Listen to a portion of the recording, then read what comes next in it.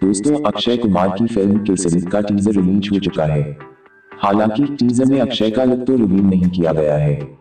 लेकिन इस टीजर में अक्षय एक हाथ में तलवार और एक हाथ में रिंग जैसी कोई चीज़ लिए नज़र आ रहे हैं और आज हम आपको इस वीडियो में बताएँगे कि अक्षय के हाथों में दिख रहे इन हथियारों की खासियत क्या है।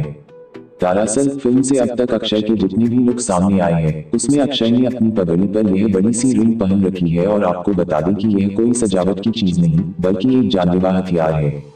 इसे चक्र या चक्रम कहा जाता है, और इस हथियार को अस्सी के दशक में युद्ध के दौरान इस्तेमाल किया जाता था।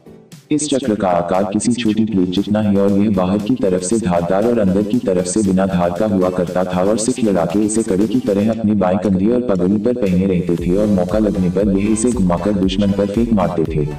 और अगर ये किसी के गले पे लग जाए तो उसका काम तमाम हो सकता है। तो दोस्तों, एक ही की खासियत। दोस्तों, आपको वीडियो कैसा लगा आप हमें कमेंट में बताइए और बॉलीवुड से जुड़ी लेटेस्ट जानकारी के लिए चैनल को सब्सक्राइब ज़रूर करें।